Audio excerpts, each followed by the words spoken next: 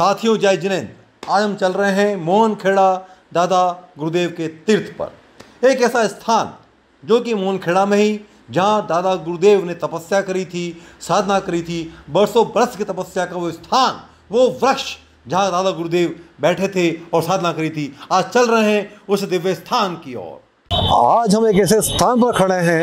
ये स्थान की जानकारी आप लोगों को देने के पहले ही मैं इतना रोमांचित हूँ और इतना अपने आप को खुश नसीब महसूस कर रहा हूँ कि जीवन का ये वो क्षण है कि आज जहाँ पर दादा गुरुदेव ने समाधि करी थी, जहाँ उन्होंने तपस्या करी थी, जहाँ उन्होंने ध्यान लगाया था, ये वो स्थान जो मेरे पीछे देख रहे हैं, जो गुफा के रूप में बना हुआ है, ये गुफा के रूप में बाद में उनके देवालोकमन गमन के पश्चात किया गया। उसके पहले इस वृक्ष के नीचे ही ताला गुरुदेव ने बरसों बरस तक तपस्या करी है, साधना करी है।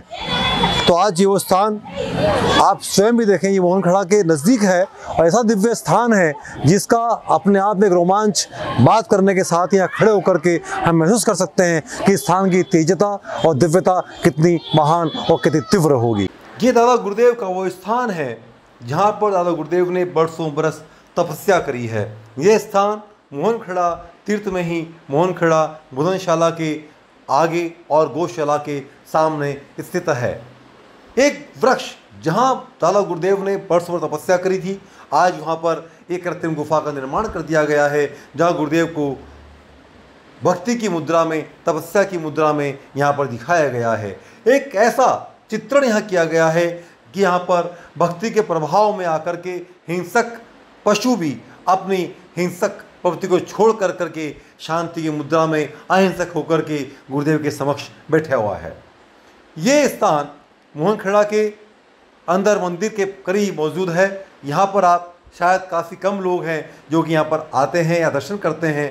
यह स्थान गुरुदेव का वास्तविक स्थान है, जिस वृक्ष नीचे गुरुदेव ने साधना करी और बहुत तपस्या करी है। यहाँ पर हम कुछ पल बैठ करके गुरुदेव की उपस्थिति का, उनके कण कण में या विराजित होने का या उनके साक्ष्य होने का हम प्रमाण ले सकते हैं।